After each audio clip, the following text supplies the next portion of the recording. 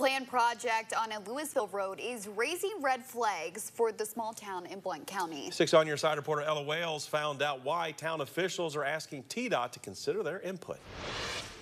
TDOT has plans to widen this road in 2027 in order to ease truck traffic coming from Smith & Wesson. However, Louisville government officials have concerns and are asking for a seat at the table. This plan was a joint venture by um, the Blount County Industrial Board and Smith & Wesson and the city of Alcoa and the city of Maryville. And none of this is in either one of those cities.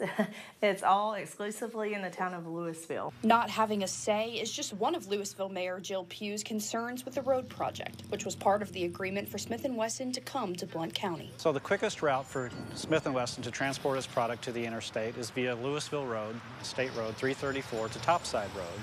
As part of its negotiations with the state of Tennessee, Tennessee Department of Transportation, and the Industrial Development Board, all Smith & Wesson asked was that the road be uh, upgraded to uh, handle uh, existing traffic conditions.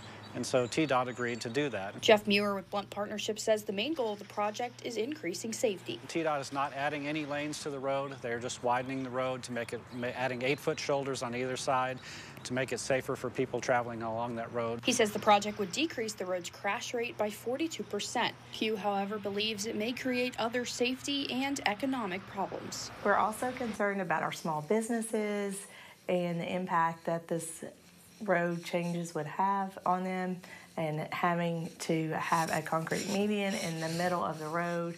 People would have to make U-turns, which is unsafe for our citizens. TDOT is set to meet with Louisville officials on April 26th. In Louisville, Ella Wales, WATE 6 on your side. The mayor has also been encouraging residents to send comment cards to TDOT with their thoughts and suggestions for the project. Today is the last day to send one.